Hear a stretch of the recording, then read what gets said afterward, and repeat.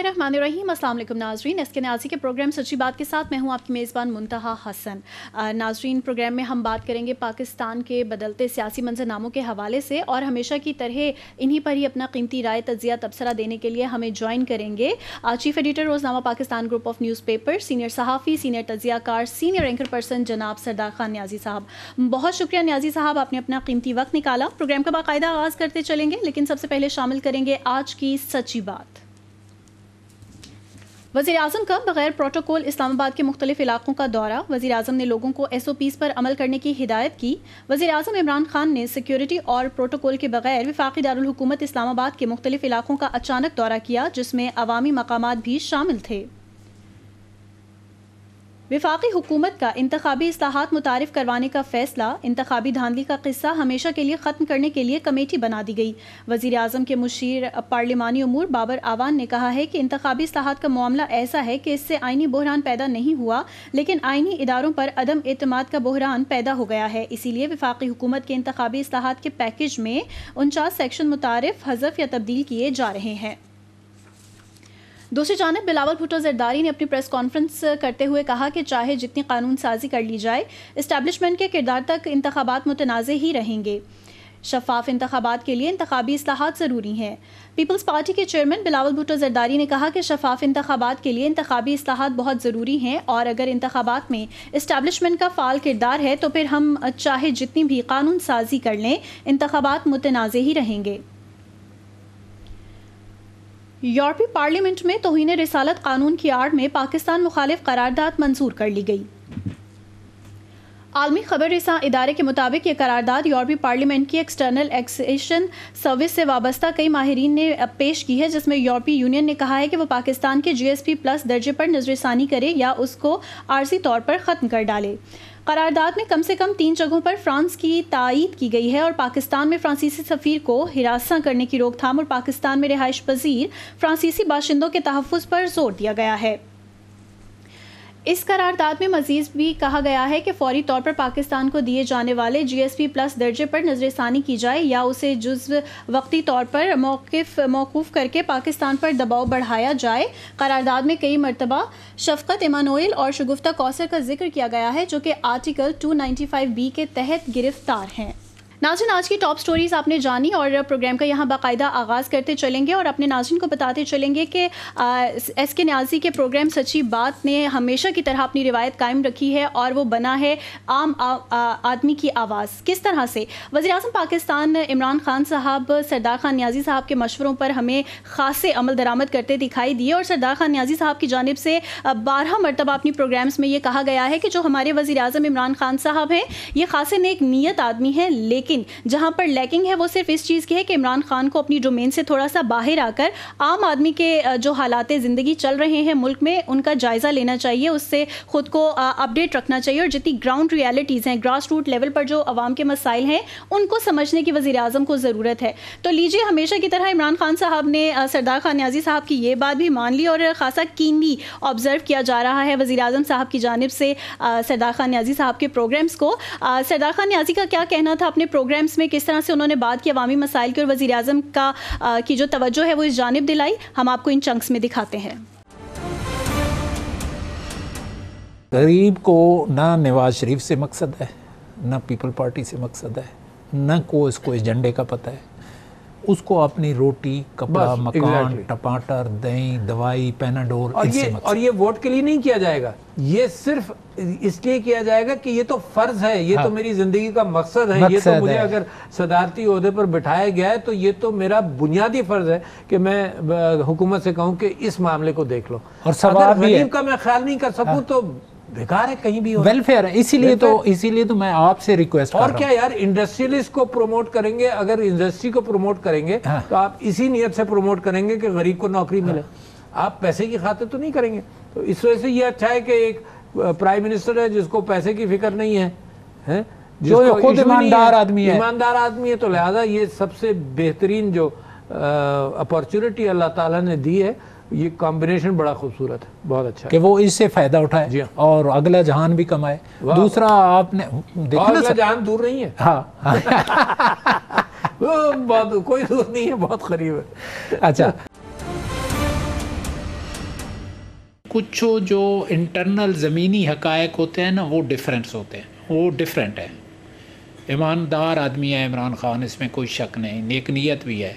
लेकिन अकील करीम डैडी साहब law and order नहीं है, बिल्कुल उसका निशान नहीं है। लोग घर में सो नहीं सकते, चोरी आम है, डाका आम है लोकल लॉ एंड आर्डर के बुरे हालात हैं, पुलिस नाम का वजूद नहीं है। आप नमक लेने जाएँ, लिफाफा तो उसमें क्रश मिली हुई होती है, वो पीसी हुई। नमक साफ़ नहीं है, मिर्च जाए तो मिर्च लाल में पीसी हुई मिर्च होती है। गली में जाएँ तो वहाँ पानी मिलता है, आपका सीवरेज पानी के साथ मिला हुआ पानी साफ़ नहीं है। पैनाडोल लेने जाएँ तो वो आप ले नहीं सकते। दवाई इतनी महँगी हो गई है, यानी सो मैनी थिंग्स बीमारी आम हो गई है हस्पतालों का बुरा हाल है। जो ज़मीनी हकायक हैं, वो ये है कि लोकल सतह पे गरीब आदमी को कोई जहाँ छः करोड़ की सतह से कम थे गरीब अब नौ करोड़ से, की सतह से भी चले गए नीचे। प्रेस कॉन्फ्रेंस में, टीवी टॉक में तो सारी चीज़ें अच्छी नज़र आ जाती हैं, लेकिन एक्चुअली जो प्रैक्टिकल है प्रैक्टिकल जो मैं आपको बता रहा हूँ, यही है कि इमरान ख़ान बहुत अच्छा आदमी है, नेक नीयत आदमी है। इस किस्म के इश्यूज़ हैं जो इन इश्यूज़ को एड्रेस करना पड़ेगा। ज़मीनी हक़ से इमरान ख़ान नावाकफ़ आदमी है जितने तक वो ज़मीनी हक़ का पता नहीं करेगा जितने तक वो उसको उसको बुरी बात सुनने पड़ेगी वो अचानक को कोई उसमें मतलब बुरी बात करता है तो वो उसके आगे टीवी चैनल पे फ़ौर पहुँच जाता है हम्म। और फिर वो बुरी बात उसको सुननी चाहिए जो भी बुरी बात करता है तनकीद बर तनकीद लोगों को भी करनी चाहिए लेकिन तनकीद को सुनना लाजमी चाहिए। हम उसको जो समझाते हैं हम उस मैं उसका वेल विशर हूँ मैं जो बात कह रहा हूँ। बिल्कुल। कई दफ़ा लिखा भी है कि ज़मीनी हकायक से जो है आगाह होना बड़ा ज़रूरी है। क्वेश्चन मेरा ये है कि इमरान खान की ज़ात पे इमरान खान के बगैर कोई ऑप्शन भी नहीं है इस मुल्क के पास। नहीं है बिल्कुल नहीं लेकिन ये है कि इमरान खान को कोई ये बात बताए कि ग्राउंड रियलिटी क्या है? ग्राउंड रियलिटी का कुछ नहीं पता। किसी एक को नहीं पता। एक को नहीं पता। तो इत, वो कहा जाता है कि चालीस वजारतें यार मैं आपको बताऊँ लाफ दी लैंड जो है ना कि इतनी बेहरुमती की जाती है जिसकी इंतहा नहीं है। मैं तंग पढ़ के बातें कर रहा हूँ। लेकिन आज अब बहुत सब मैं बता रहा हूँ कि मेरी आज हमारी शिबली फराज साहब से मीटिंग थी अच्छा। और जनरल बाजवा साहब से यासम बाजवा थे। ये बातें मैंने उधर भी की हैं। वाह तो कुछ मकसद लाफ दी लैंड का तो एहतराम ही ख़त्म हो गया है। जो ज़्यादा बोलेगा जो प्रेस कॉन्फ्रेंसें करेगा वो वक्ती तौर पे तो असर होता है। बाबा, वो ग्राउंड पे कायम रहता है। इमरान खान चाहता है बिल्डिंग एक्टिविटी हो। इमरान खान चाहता है जी लाहौर चेंज हो जाए, ये बन जाए। लेकिन एक एहसास कमतरी में वो शिकार है। एक सिंगल चीज़ नहीं है जो मेरिट पे हो रही हो। ज़मीनी हकायक की कि ज़मीनी हकायक कुछ मुख्तलिफ़ हैं, लेकिन प्रेस कॉन्फ्रेंसों में टी वी प्रोग्रामों में सब अच्छा है। क्योंकि ज़मीन पर काम कोई होता नज़र नहीं आ रहा, महँगाई का बुरा हाल है। अब आप अंदाज़ा कीजिए कि जो पार्टी हुक्मरान पार्टी है इस वक्त, अब वो मुसलसल कुर्बानी के बकरे ढूंढती रहती है। अगर उनको ये कहा जाए कि आटे की कीमत जो है, वो पैंतीस रुपए किलो होती थी आज से दो साल पहले, और अब वो पैंसठ रुपए है तो कहते हैं माफिया का ये काम है। भाई, माफिया तो आपने कुर्बानी का बकरा ढूंढ लिया असल जमीनी हकीकत यह है कि आपकी पॉलिसी जो है आप बना नहीं पाए या आपकी पॉलिसी मुकम्मल तौर पे फेल हो गई। तारिक इंसाफ ने डिलीवर कुछ नहीं किया ना न महँगाई के देरे में किया तारिक इंसाफ ही गुफ्तार की तो गाजी है लेकिन काम कुछ नहीं किया ना। महँगाई इतनी गरीब आदमी के लिए बढ़ा दी। डिलीवरी की तरफ़ अपनी पार्टी को कहें कि कोशिश करें काम करें लोगों के। ऐसा मैं आपकी बात से सौ फ़ीसद एग्री करता हूँ। आपने बहुत अच्छी बात कही। हमारे लिए तो रियल चैलेंज जो है। वो यही है डिलीवरेंस है गवर्नेंस है और ये आवाम को रिलीफ देना है। और बेशक इसकी जिम्मेदार हम नहीं है। सत्तर साल ना हम हुक्मरान रहे हैं, ना हमने कर्जे लिए हैं, ना हमने टीटियाँ लगाई हैं, ना बारियाँ लगाई हैं। ये दिन लोगों ने लगाई और आज पाकिस्तान का ये हाल हुआ है। ये चंक साहब मुलाहिजा कर रहे थे हमारे प्रोग्राम्स के तवसत से सरदार खान न्याजी साहब की जानब से। बहुत मरतबा वज़ी अजम इमरान खान साहब की तवज्जो दिलाई गई और अल्टीमेटली वज़ी अजम की जानब से जो दौरा किया गया है विफाकी दारकूमत इस्लामाबाद का, जिस तरह से उन्होंने रुक रुक कर हर ठेले वाले के पास उससे बात की, उसके मसाइल जानने की कोशिश की तो ये सब चीज़ें प्रूव करती हैं कि वज़ी अजम इमरान खान साहब ने, सरदार खान न्याजी साहब की जितनी भी रिकमेंडेशन थी, उन पर खासा सीरियसली काम करना जो है उसका आगाज़ कर दिया गया है। इमरान खान साहब ने एक तीर से दो शिकार भी किए हैं एक जाने तो ग्राउंड रियलिटीज़ पर आने की कोशिश की और दूसरा जो स्लोगन था, पाकिस्तान तहरीक इंसाफ का that was say no to VIP culture इसको भी वो तोड़ते नज़र आए। तो न्याजी साहब, आपकी तरफ़ आएँगे, किस तरह से देखते हैं वजी के इस दौरे को? तो उन्होंने बात पूरी की, ये खुश आयन बात है कि उनको ज़मीनी हकायक का जब आम आदमी बताएगा, जब रेडी वाला बताएगा, जब टांगे वाला फिजिकली बताएगा, और इसी तरह कभी पिंडी चले जाएँ, इसी तरह कभी मियाँ अली कलूरिया गली चले जाएँ, इसी तरह नारकली बाज़ार चले जाएँ पुरानी अनारकली चले जाएँ इसी तरह दाता दरबार चले जाएँ कि कैद आदम के मज़ार कराची चले जाएँ और इसी तरह बलूचिस्तान में चले जाएँ सरहद में चले जाएँ। किसी न किसी जगह पे जाएँ तो जब रेलिवेंट लोगों से बंदा बात करता है तो पता लगता है। जी मैंने ऑलरेडी कहा हुआ है कि जो हमारी ईंट है ना वो पीस के लाल मिर्च में डाली जाती है। सही। और जो नमक है उसमें ये क्रश का पाउडर जो होता है वो उस नमक में डाला जाता है। मिलावट हर चीज़ में मिलावट। मिलावट हर चीज़ में। और वो जो है वो एक लम्हा फिक्री है। लोग तो हम ये कहते हैं हमेशा कहते हैं कि तनकीद बराए तनकीद नहीं होनी चाहिए तनकीद बराए इसलाह होनी चाहिए। बिल्कुल लेकिन अगर कोई तनकीद करता भी है अगर तनकीद को करता भी है तो उसकी तनकीद को सुनना चाहिए। हो सकता है वो तनकीद बर असलाह कर रहा हो असलाह के लिए कर रहा हो। अपोजिशन ही बाद अवत बातें अपोजिशन हम हमेशा ये कहा जाता है जमहूरी मुल्कों में ये होता है ये बताया जाता है कि वो आ, कोई हुक्मरान तब अच्छा हुक्मरान अच्छा ही डिलीवरी तब कर सकता है उसकी डिलीवरी तब बेहतर हो सकती है कि उसका जो है उसकी जो अपोजिशन हो वो स्ट्रांग हो। सही। और अपोजिशन का एम हो कि तनकीद बर सलाह करनी है तो। सही। तो अच्छा लीडर डिलीवर भी तब कर सकता है। बकाया वो जो है वो उसमें आ, क्या आगे बेहतर है क्या नहीं है और लेकिन मेहनत वो कर रहे हैं और अच्छी मेहनत कर रहे हैं सर आपने ये बात की कि मेहनत की जा रही है हुकूमत की जानब से तो आपसे ये भी जानना चाहेंगे कि विफाकी हुकूमत ने इंतबी असलाहत मुतारफ़ करवाने का भी फ़ैसला कर लिया है।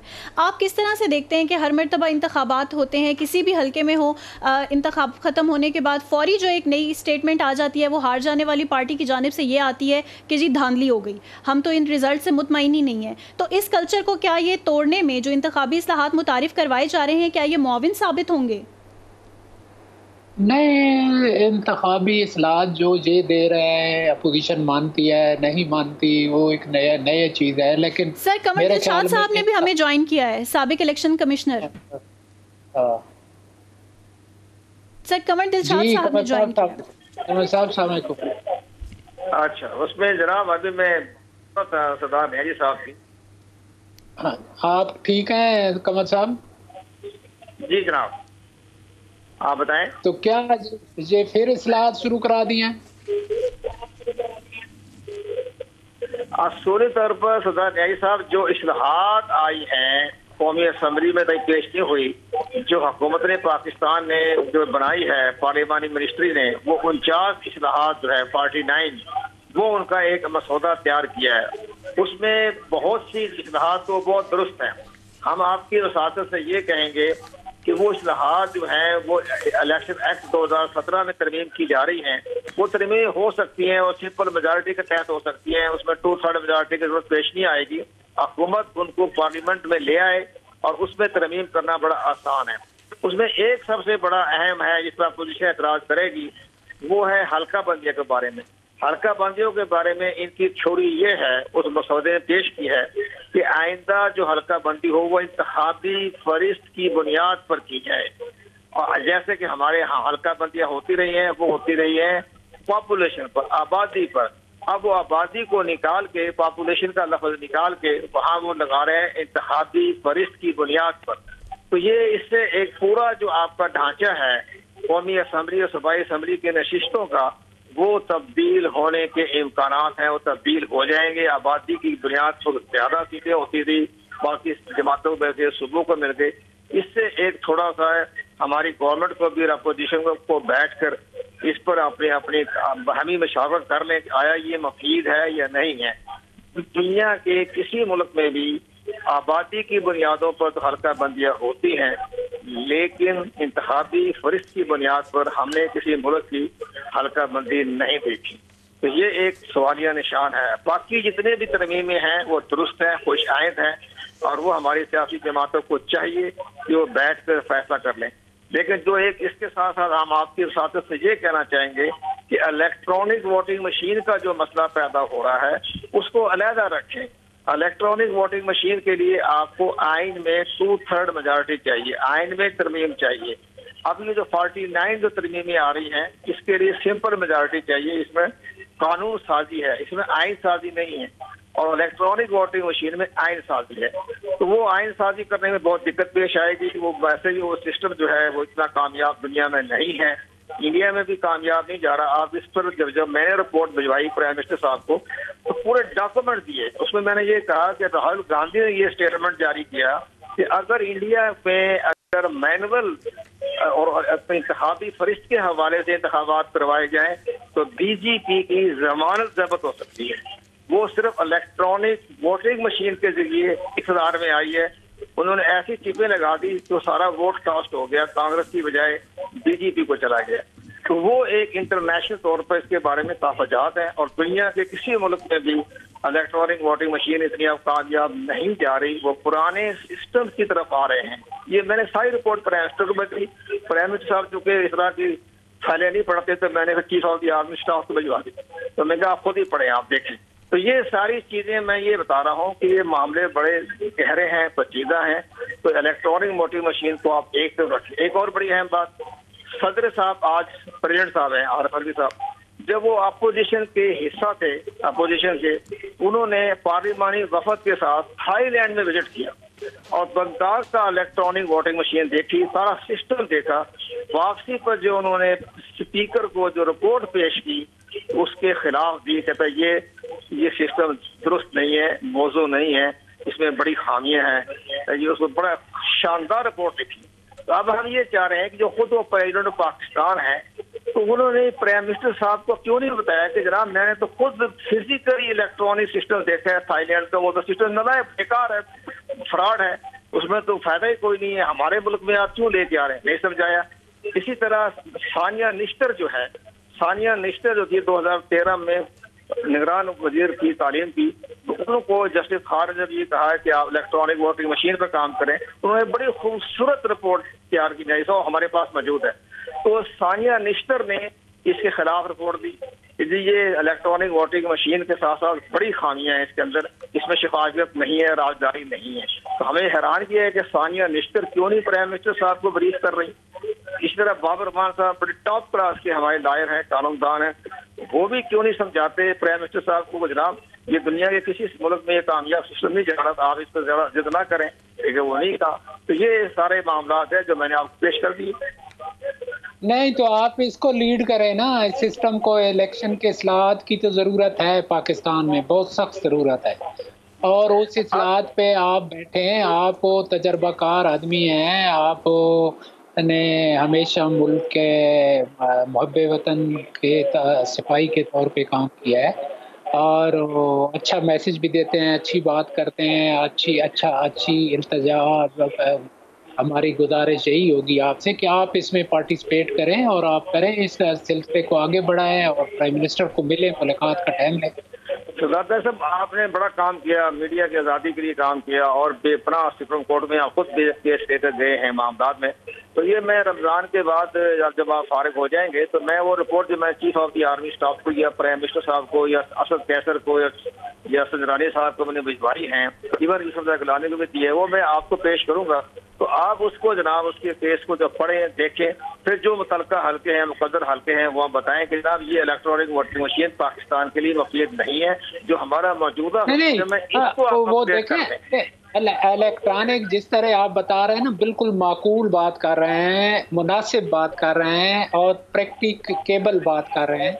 कि जी इलेक्ट्रॉनिक मशीन बाद का इशू है। पहले तो आप बैठ के इस इलेक्शन असलाहत पर रजामंद होना इलेक्शन असलाहत करें, फिर इलेक्ट्रॉनिक मशीन के फ़ायदे नुकसान देखें। वो आपस में बैठ के पहले तो इलेक्शन असलाहत के बारे में आपस में पार्टियाँ मुतफिक होनी चाहिए नहीं तो बिल्कुल दुरुस्त है, बल्कि हम ये भी चाहेंगे कि अब ये मौजूदा हुकूमत ने एक बड़ा, बहुत ही नापसंदा कदम भी उठाया हुआ है।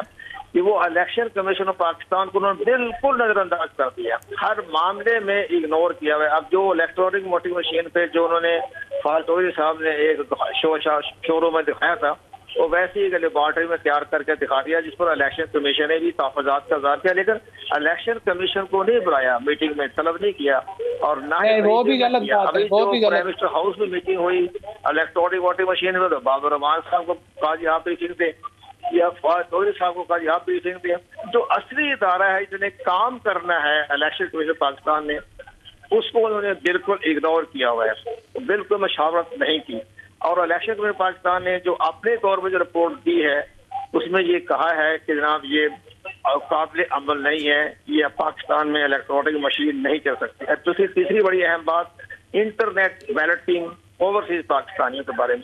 उसके बारे में भी इलेक्शन कमीशन का कहना यह है कि ये भी काबिल अमल नहीं है। इसलिए से कि दुनिया के किसी मुल्क में भी इंटरनेट बेल्टिंग नहीं होती। अब हमें दुनिया को कोई मुल्क बता दें, जिसके ज़रिए ताकि उसकी हम कॉपी कर सकें, इंटरनेट बेल्टिंग नहीं होती। लेकिन ये ऊपर जिद पे लगे हुए खर्चा उन्होंने बताया, कितना खर्चा होगा? तो इलेक्शन कमीशन ने बताया कि इंटरनेट बेल्टिंग के ऊपर पचास अरब रुपया खर्च होना है। और ये जो इलेक्ट्रॉनिक मैं आपको बताऊँ माशाल्लाह अरब रुपया खर्च होना है। मैं माशाल्लाह आपको पता है कि मैं तो सुप्रीम कोर्ट में खुद पेश होता था सारे केस तकरीबन खुद सुप्रीम कोर्ट की हद तक मैं खुद अपने प्लीड करता था जो हमारे मीडिया के होते थे या कोई जो पब्लिक अफेयर्स होते थे जो रफ़ायामा के कामों के लिए करता था खुद आर्गू करता था। आपको पता है कि उनके इर्द गिर्द वकील हैं, बहुत ज़्यादा, और बड़े हमारे आला पाए के वकील हैं। तो वो नेचरली वो मामला को कुछ ना कुछ तो पेचीदा करेंगे। हाँ? नहीं, वो जहर है पेचीदा तो जहर करेंगे इस तरह उनको दिखाया जाता है। तो ये हम सब चीज़ें, हम नज़र ये आ रहा है कि ये बिल्कुल ठीक है, लेकिन बड़ा इलेक्शन कमीशन तो अपना एक इदारा है, उन्होंने इसको अमल दरामद भी करना है तो कम अज कम इलेक्शन कमीशन को ऑन बोर्ड करें। और प्रेसिडेंट साहब बड़े अच्छे हैं, वो सारे मामले को समझते हैं, लेकिन उनकी पता नहीं कौन सी आईनी या कानूनी मजबूरी है कि वो प्राइम मिनिस्टर को ब्रीफ नहीं कर रहे इलेक्ट्रॉनिक वोटिंग मशीन पर तो तमाम हालात को देखते हुए तो हम तो आपके वसात से ये कहेंगे कि प्राइम मिनिस्टर साहब, आप अपोजिशन के साथ ताल्लुकात को बेहतर बनाए, आपने ढाई साल तक उनको बुरा भला कह दिया, उन्होंने उसके बदले में आपको बुरा भला कह दिया। अब ये खत्म करें और आपस में अंडरस्टैंडिंग करें और एक अपने इंतबी असलाहत को ले आए जो जो इंतबी लानी है तो अपोजिशन को ऑन टेबल करें और ताकि बैठ करें। और इसमें सबसे प्रॉब्लम हमारे लिए पेश आ रही है कि हमारे असद कैसर साहब जो है स्पीकर वो भी अपनी वो सही आईनी और कानूनी जिम्मेदारियाँ पूरी नहीं कर रहे।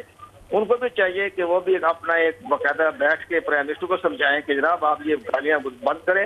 जब ये बंद कर देंगे इनका सोशल मीडिया तो उनका भी सोशल मीडिया प्राइम मिनिस्टर पर जो है बिला वजह क्रिटिसाइज नहीं करेगा। ये दोनों बैठ के खत्म करें आप, जंग जो लड़ रहे हैं, लफाजी। और उसमें आप तमाम जितने भी तर्जमान को तब्दील किए गए अभी बड़ा अच्छा आ गया फरम हबीब ये समझदार आदमी है। इसके जिम्मे लगाए तब आके ये तुम सही मैंने में गाइड कर सके या स्पोक पर्सन बन सके। तो जो आपने बाहर के अमेरिकन इम्पोर्टेड रखे हुए हैं ये आपके जो है तर्जमान ये आपके इसलाहत पैदा करने के रखे हुए हैं। ताकि जितने इसलाह पैदा करेंगे जितनी आपस में लड़ाई होगी इतना इनकी इज़्ज़त बढ़ेगी।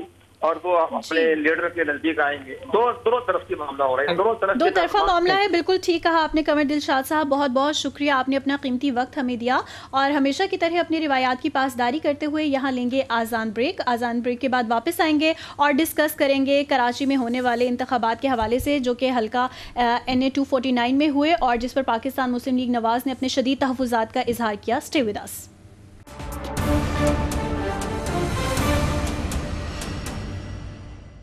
welcome back after the break और ब्रेक से कबल हम बात कर रहे थे कि विफाकी हुकूमत की जानब से यह ऐलान किया गया है कि इंतबी असलाहत लाई जाएँगी मुल्क में, जो भी शोरिश बपा की जाती है हर इंतबात के बाद के धांधली हो गई कोई भी रिज़ल्ट से सेटिस्फाइड नहीं होता। सिर्फ़ वही सेटिसफाइड होता है जो कि इलेक्शन जीता होता है, जो कि जिसकी जीत डिक्लेयर होती है, वो इस पर अपने तहफ़ात का इजहार नहीं करती जमात।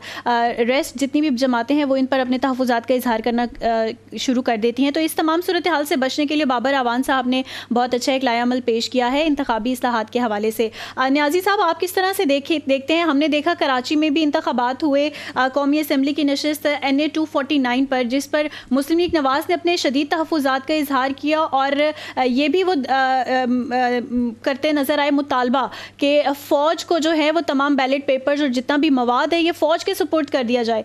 आप किस तरह से देखते हैं उनके इस एतराज़ को? नहीं देखो वो उनके जो तहफात हैं एक्चुअली ये तो लम्हा फिक्रिया है ना कि जो पार्टी जीतती है सही। वो आ, तो उनके लिए तो सब अच्छा है अच्छे अच्छा इलेक्शन हो गया। जो जो पार्टी हारती है वो फिर उसका यही होता है एस्टेब्लिशमेंट का बहाना करती है या कोई और चीज़ चला लेती है। अगर बैठ जाए अपोजिशन और ये दोनों पार्टियाँ बैठ जाए तो मेरा ख्याल है मसले का हाथ निकल सकता है। और तीनों पार्टियाँ पीपल पार्टी तारिक इंसाफ और नून लीग बैठ जाए तो इलेक्शन असलाहत तो सबकी ज़रूरत है ना? सही। सर बिल्कुल। सर लेकिन इन इसलाहत के लिए ये भी तो ज़रूरी है कि तीनों पार्टीज़ एक जगह पे आएँ। बहुत खूबसूरत बात कही है आपने कि तीनों पार्टीज़ का एक जगह पे बैठना ज़रूरी है। आप रिकमेंड क्या करेंगे? क्या तरीके निकल सकते हैं? क्योंकि इनमें जितने इख्तलाफ आ चुके हैं जिस तरह से हर बढ़ते दिन के साथ ही एक दूसरे पर तनकीद और तंज के निश्तर चलाते दिखाई देते हैं आप रिकमेंड क्या करते हैं? क्या सूरत निकल सकती है कि ये पार्टीज़ आपस में मिल बैठ जाएँ? पार्टियाँ देखें जी प्रॉब्लम ये है कि पता नहीं मिल बैठती हैं कि नहीं ना। अगर उनको इलेक्शन असलाहत चाहिए तो उनको मिल के बैठना पड़ेगा। सही। अगर वो असलाहत चाहते हैं इलेक्शन असलाहत अगर इलेक्शन असलाहत नहीं करेंगे तो फिर उनको फ्यूचर में जो नुकसान होंगे वो तीनों पार्टियों के बराबर के होंगे।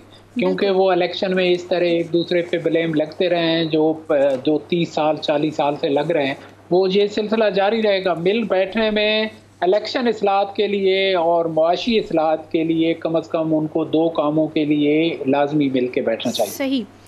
सही। आ, सर आ, कहा जाता है कि अगर मुल्क में पॉलिटिकल स्टेबिलिटी हो तो अल्टीमेटली ये रिज़ल्ट करती है आपकी इकोनॉमिक स्टेबिलिटी की तरफ़। आपकी मीशत भी इससे मज़बूत होती है अगर आपका जितना भी मुल्क में जो पॉलिटिकल निज़ाम चल रहा है सियासी निज़ाम चल रहा है वो मुस्तहकम हो जाए। तो आप तीनों पार्टी से क्या कहेंगे कि वो जो मीशत हमारी जिस सम जा रही है क्योंकि बहुत गिरावट देखने में आ रही है स्टॉक मार्केट हमारी ऑलमोस्ट क्रैश हो चुकी है। आप क्या कहेंगे कि पार्टीज़ को कि अब वक्त आ गया है कि वो अपने पर्सनल इंटरेस्ट को छोड़ के अपने अपनी पार्टी के इंटरेस्ट को छोड़ के मुल्की मुफादात की जानब तवज्जो करें। नहीं ये तो वक्त तो काफ़ी देर का आया हुआ है करें हम तो है ना? वक्त हाल ही में जितने पॉलिटिकल इंतबात हमारे हुए पार्टीज़ की जानब से जो भी पॉलिटिकल पार्टी ने वो इंतखब को विन किया तो वो तो हमें विन विन की पोजीशन पे नज़र आई। लेकिन जो बाकी पार्टीज़ थी, जो सेकंड या थर्ड या फोर्थ या फिफ्थ पे आई तो इन पार्टीज़ ने काफ़ी एतराज़ात का इजहार किया। एक जानब हमारी ये हालात चल रहे हैं इंतबात के हवाले से पोलिटिकल इंस्टेबिलिटी हमारी इतनी अरूज पर पहुँच चुकी है।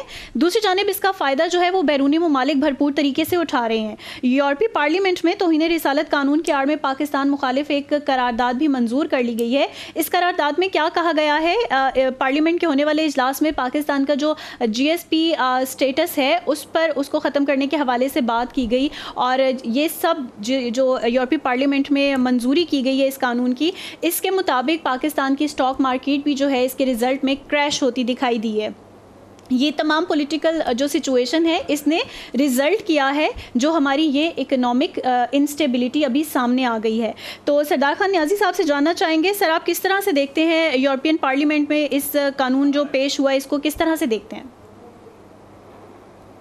देखो जी जो यूरोपियन वो तो हमारा ही किया धरा है ना कि हम इस किस्म का मौका क्यों देते हैं जो ये बातें होती हैं? सर डॉक्टर शुमाइल तो ने हमें ज्वाइन किया है उनसे मजीद जानेंगे। डॉक्टर साहब सलामकुम जी सलामकुम डॉक्टर साहब ये जो यूरोपियन यूनियन का किस्सा चढ़ा आज उसकी वजह से उस हवा से उस उस मामला से हमारी स्टॉक मार्केट ही बहुत तो डाउन गई। तो इसको आप कैसे देखते हैं? क्यों जो है इस तरह का सिलसिला शुरू हो गया और हुकूमत से कंट्रोल नहीं हो रहा मेरा ख्याल है? हाँ? जी बहुत शुक्रिया। देखिए, अभी भी मैं कुछ देर पहले भी ये इस हवाले से देख रहा था फॉलो अप बात यह है कि जीएसपी प्लस स्टेटस के साथ और यूरोपियन चूँकि उनकी पार्लियामेंट की जेर साया हमारे पास ये स्टेटस रहा है और उसके असर से हमें डेफिनेटली एक बहुत बड़ा एडवांटेज पाकिस्तान की एक्सपोर्ट्स को मिलता रहा है टेक्सटाइल सेक्टर को।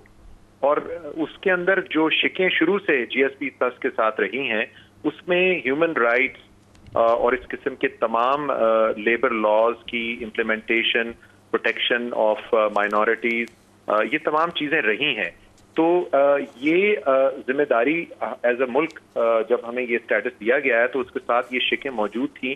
और जाहरी बात है अब उस पर वो नज़र षानी कर रहे हैं और उसकी वजह से अगर खुदा न खास्ता वो स्टेटस खत्म होता है उस, इस डिस्कशन के नतीजे में और पार्लियामेंट के इस जो यानी के सामने आ रही है उनके वोट के नतीजे में तो ज़ाहिर बात है पाकिस्तान के एक्सपोर्ट को अगर कम होता है तो हमारी इकोनॉमिक सिचुएशन को धचका पहुँच सकता है और उसी के नतीजे में जो सेंटिमेंट है वो अभी स्टॉक मार्केट में नज़र आ रहा है।